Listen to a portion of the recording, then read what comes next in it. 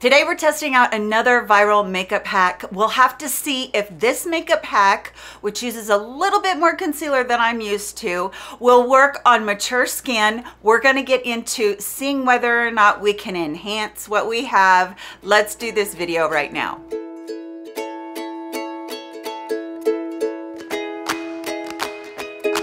Hello friends, as you see, I do have my makeup pretty much complete.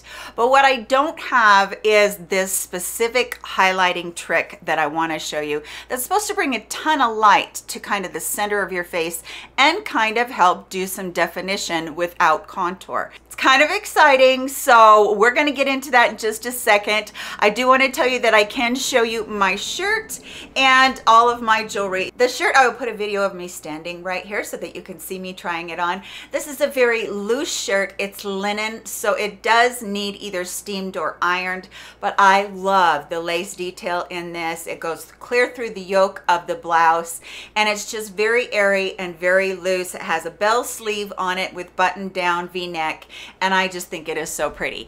And then I will zoom you in and you can get a peek at my earrings today, which I absolutely love. These are a gold earring that has just a few little tassels on the bottom, just a filigree earring, so pretty. I also have two different necklaces on today. I don't think these came in a set. They might have came separate, but one is a paper clip right here, and then the other one in the top is just a serpentine that I got. And also I have a fun new bracelet, which I have just been loving wearing. It's a cuff bracelet in gold. And so I'll be able to show all of those to you. Oh, I also got a fun new ring, which is an adjustable ring. And I'm always on the hunt for pinky rings and my pinky is an odd size. So this is a fun little opal with a um, just a little cubic zirconium in there and it's rose gold. So I thought that was all kinds of fun. And all of those, including the makeup that I wear, will be listed and linked below in the description box. And speaking of the description box, right over here, you're going to see a number that will come up each time that I show you a product or switch products. That number will co coincide with what I am doing on camera. So if I'm using the um, concealer trick or whatever, the concealer that I'm using right will come up right here in a number. You don't have to remember the number or the shade of the concealer. You just open up the description box and say it was number two. You remembered that it was number two. You go over to number two, number two, how many times can a person say number two? It is the concealer with the, the shade and the link will be there. So that's very easy way for you to shop and I hope that you do enjoy it. If you are new to this channel, please subscribe. I'm trying so hard to get to 100,000. So my analytics tell me that about 40 to 60% of you that watch my videos aren't subscribed. So if you would please just take a second to do that, would help me out so much. And all of you that have been here forever, I love you to pieces. So let's get into this. We're gonna see if it's gonna be a mess or we're gonna see if it's just gonna be gorgeous on mature skin for all of us. Let's do this video right now. All right, all zoomed in. Let's start out with the Maybelline Instant Age Rewind. The reason that um, I chose this is because the gal did that was on there. It just seemed like it went across her face a little bit easier. So instead of doing both sides. I'm gonna do one side. We're gonna see how it looks, if it brings more light, if it brings more definition, if it's prettier or not. so what she did was she actually started, I have got some random flyaway hairs going on here. She started out here at her temple and she just did a little line and then she went all the way under her eyes. And yes, I already do have concealer on. Actually, I already have all my makeup on, but my concealer didn't quite do the trick today so I was like maybe this will help a little bit. And then she drew she drew a line down her nose into the center of her her upper lip. And then she went down and excuse the shaking we all know that Melissa does the shaking. And she went back into her kind of to define that jawbone and then she came out around the lip and then she went down that looks insane to me. It absolutely looks insane. But the whole purpose of this is to see how much light that we can bring to this area. Now I have a dampened beauty sponge and that's what I'm going to use. I'm going to let this part right here by my eyes set up a little bit but that's what we're going to use to blend. So we're just going to blend everything and I'm actually going to bring this blend down a little bit. It's going to really, I can already tell you that it's really going to define that cheekbone and I'm trying really hard just to stay in the places like I already have my lipstick done, which was probably not the best thing. So I'm gonna really blend this in because I'm putting another layer on top of what I already have. Now, in my defense, I did uh, only put one layer of my foundation on. I didn't want it to get too out of control. And now we're gonna go up and we're gonna bring that way up. And I feel like when you do this, you're gonna, your blush is gonna kind of go away. Okay, that was that was it. That was easy peasy. Um, so you can see right here that it's really defining the line of the cheek. And then when we go up here, it's kind of just defining all of this too. Now my nose is a little bit red from using some blush on it. So I'm just gonna pop a little bit of the concealer onto my nose. So I'm gonna just kind of let you guys see what happened. It was a super easy trick. It took like two minutes, not even two minutes. I talked too much, so it took longer.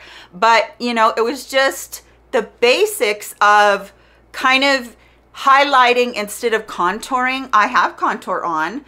Um, I'm not crazy about what kind of a line this is leaving right here. So what I'm going to do is I'm just going to take another side of my makeup sponge and I'm just going to dot, dot, dot try and get that down. Now, one of the things that I love is I love to put my blush right up around here. So I don't know if I'm 100% sold on that. What do you guys think? It's kind of, it's pretty and you can tell that it gives a lot of light. When I'm looking at it in the mirror, it looks pretty darn good. It gave a little bit more coverage right here underneath my eye, brought a little bit of light. I wonder if I used something even lighter. Okay, so what I did was I grabbed the ColourPop Pretty Fresh. So this is gonna be a little bit different because you have the wand instead of that little sponge to kind of, you know, move things around. So what I'm gonna do is I'm gonna try to draw as ever so slightly as I can here. I mean, the whole premise is that you use a bit of stuff, but I don't want to use too much. That got into my lipstick. Lovely.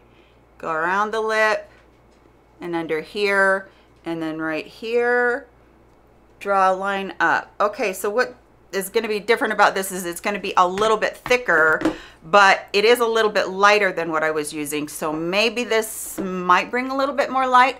Let's start down here to blend it. I don't know what the thinking is in making around your mouth so light. Maybe it just defines your lips a little bit more.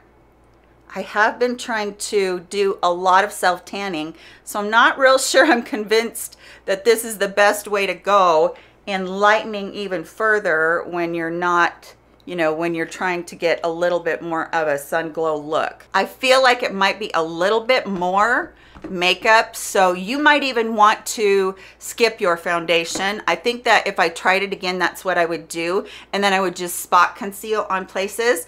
But i like the fact that it does give me a little bit more coverage back here where i have all my age spots and i like the fact that it's pulling everything up. So that's kind of the premise to it is to give yourself kind of a fake lift. I am going to go in with this Dior no powder powder have you guys tried this? Oh my word, this is so, so good. So I'm just gonna pick up a little bit of it and I'm gonna just set underneath my eyes since this is so expensive, I don't use this to set my whole entire face normally. I am going to today, but normally I just set my under eyes. I don't, I don't even know how to explain it except for it really doesn't feel like powder. It just feels super light and super pretty, airy. It just feels gorgeous. Here's this brush and I will link this brush for you. It's an IT brush for Ulta. I get asked about it every time it comes on air or comes uh, into one of my videos. So I'm gonna load that sucker up and the reason is, is because hardly any powder will get on there anyway, but I'm going to dust this across everything that I've done and just kind of buff everything around. But that big brush will really help buff in everything and kind of just give it all a really seamless look. I'm going to go in with my Laura Geller Pink Grapefruit Baked Blush. This is what I just barely used. And I do feel like my blush kind of went away. So I am going to just put a little bit more blush on. And I'm going to try and stay away from this part that they wanted to lift with. Although, you know, that's always where I put my blush. But I'm going to just try and, you know, kind of stay away from there and then I will put it across my forehead to kind of warm that up a little bit or I just put it on my chin. I'm so used to doing certain things, but I think you get the gist of this. Okay, so thoughts. This is my thoughts on it. I think if I was gonna do this again, I would not start out with all of my makeup done. I would probably put some cream bronzer or cream contour on and I would buff that in. And then I would probably skip doing any sort of um, concealer under my eyes, but I'd go ahead and I'd use this as kind of a spot treatment. So you might not even need any foundation whatsoever. So I would probably put a line across my forehead, down my nose and then do everything that it showed as far as where it goes in the placement.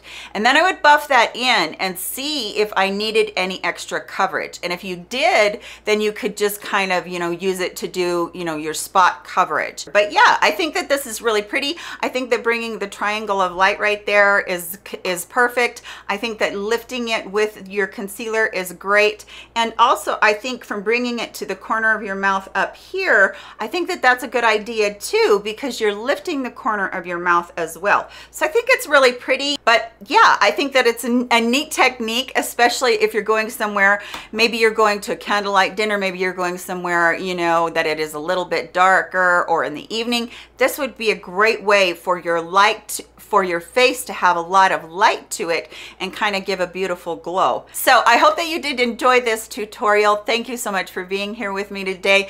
Please give it a thumbs up on your way out of here. And right now I'm going to put up a video right here, one of my older videos that you can click on and go over and see a few more tips and tricks that I might have that you might not have seen that video before. And I hope that you're all happy, healthy. Please come back around very soon in my next video and we will have all kinds of fun again. Love you so much, friends. Goodbye.